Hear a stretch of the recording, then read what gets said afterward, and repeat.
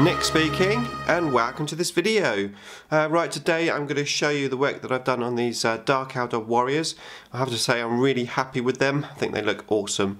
Um, so I'm going to zoom in in a second and uh, show you uh, them a bit closer. But first of all, um, yeah I got these models from WarGames, uh, very very kindly donated to me by Martin, a good friend of mine who um, not only has his own YouTube channel but he also has his own uh, store, gaming store.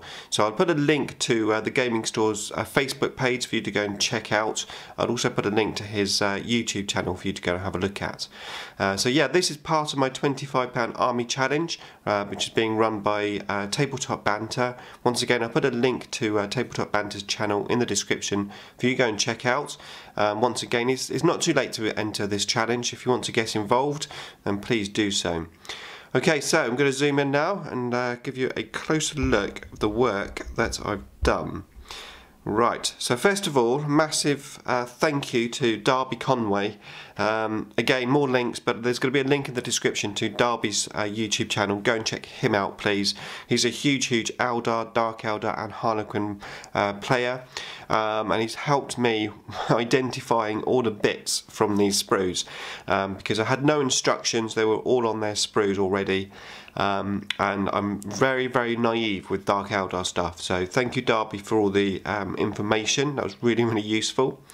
Um, and like I said, I didn't have the the instructions for these.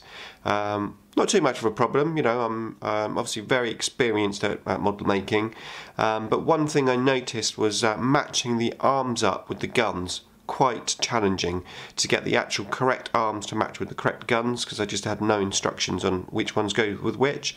Uh, so what I did, I used that to my advantage. And rather than actually trying to get the arms to match up, um, I decided to um, give myself the freedom to try and make these guys have some really cool poses.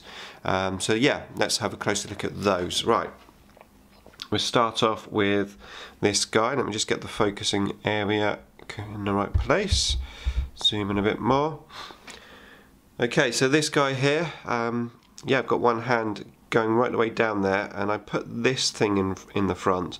Now I believe this is the front of some sort of weapon, like it goes on the front here, but I thought it looked really cool as some sort of uh, close combat blade thing. So I've got him uh, holding that saying, yeah, come on then. You know, if I don't kill you with my gun, I'm going to knife you. I always uh, like try to little, put a little, I try to put a little story to my pose as well. So to imagine him in battle in that particular pose and what he might be thinking or saying or you know doing, etc. So that's the first guy. Just put them over the side so I don't uh, duplicate showing you. Next guy, traditional pointing man. There was a pointing arm in there, so I thought it'd be pretty cool to use that. Um, got him looking obviously directly down the point and the gun, so he's saying, There, I'm to kill you. well, maybe not, but he's pointing. Um, he has obviously that grenade thing on his backpack. Um, I know it's not that great in game, um, but it looks cool, so I'm not to take it as an upgrade, but I just thought, get it to focus. Yeah, I just thought it looked really cool, so that's that guy. Obviously I tried to make sure that the um, heads matched up to the bodies because some of the, the heads are female and obviously some of the bodies are as well so I had to make sure I did that right. But this guy, I just got him sort of in motion so his hand there just about, about to go up to the gun and that's why I put him sort of looking over this way so I can imagine like just spotting something and he's just raising his hand up ready to turn around and shoot. So that is that one. Got this guy here pretty yeah pretty cool pose I think this guy. So he's holding one of the um, grenades and I've got him sort of again turning round just looking there so it looks like he's just about to sling that grenade at someone. Really like this guy I think looks cool. Um, the detail on these is absolutely amazing I have to say. It's it's amazing how much detail. And I thought they were going to be pretty basic maybe like um, uh, Eldar Guardians. You know because they're, they're pretty pretty bland, let's say. Um, but these, the, the detail is astonishing on these guys. Okay, so I've got this one here. Now this one here is arm just happened to match up um, with the gun. So I thought, well, it'd be okay to have like maybe one or two actually holding the gun.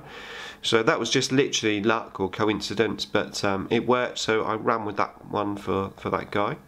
So that's him. Uh, then we've got this one here. And again, he's got a hand sort of in motion, just uh, as if he's just uh, shot, um, or he's just about to grab the gun. And I've got the gun obviously pointing quite up in the air on that one, so he's uh, in motion. So that's that one. And we have the splinter cannon guy. Looks pretty cool, and um, I almost managed to make his uh, hand sort of match up, but it looks it looks pretty cool because he's uh, obviously holding a much bigger gun, so he's he's got to have his hand sort of quite near, or say he, it's actually a she. this uh, actually, yeah, that reminds me. This this uh, head just reminds me of Rihanna. That's why I put the head on this one because I thought, yeah, Rihanna, she's she's hardcore. You know, she would have the big heavy gun. So it's that one. And then we have this one. This guy's sort of leaning forward more. Um, and I did manage to get his hand just to match up with the gun there. So that's that one. And we have this one. This is pretty cool actually. I like this one. So she, yeah, it's a she, is looking down the gun barrel, one-handed, pretty mean, and then just got that like blade, the, the knife there, just like holding it back. Nice relaxed pose, but just gonna kill you. I'm gonna stand here, be relaxed, and just shoot you. I like that one a lot actually. That's one of my favourites. And then lastly, we have this one, which I used one of the actual arms with the knife on, uh, which I assume is supposed to be for the sergeant, but it just looked pretty cool. Um, there is another hand with a bigger knife, but I used a small one because I think it sort of matches, and I won't necessarily be taking a sergeant, but if I did, this would be the sergeant. I say sergeant, it's not called a sergeant, you know what I mean. The, the um, pack leader, well, what's it called? I, I can't remember the name. But anyway, uh, so I gave a, a, that sort of bigger backpack to it just to distinguish that it would be the sergeant, and I gave that obviously close combat weapon, just in case I do happen to take a sergeant. Then that's the model would stand in as as one. And that is it. So I'm really, really happy with them. I think they look pretty cool. Um, I hope you like them too. Um, next up, I have 20 Wyches to build, uh, which is going to be a lot of fun as well. I'm sure they're going to be just as detailed as these guys. Okay, so that's it from me. Thanks for watching as always, and I'll see you in the next one.